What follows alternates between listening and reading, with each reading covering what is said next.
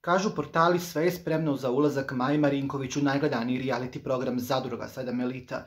Kako li će drugi ljudi gledati na Majin ulazak, to će vrijeme da pokaže.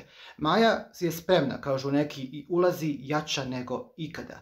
Kakav će njen odnos biti sa Markom Janjuševićem i Janjušem sa kojim imala turbulentne situacije, od ljubavi do mržnje, od mržnje do ljubavi, od ljubavi do svađa, od svađa do ljubavi, raznoraznih scena je bilo i sve smo to ispratili. Međutim, izvor za svet koji je blizak Maji kaže, Maja je opasna, čekala je da svako pokaže svoje lice pa da uđe u reality kao šlag na tortu. Anelio je meta ovoga puta, Saša je pripremila za nju. Neće se dobro provesti i to sve u dogovoru sa drugaricom Stanijom.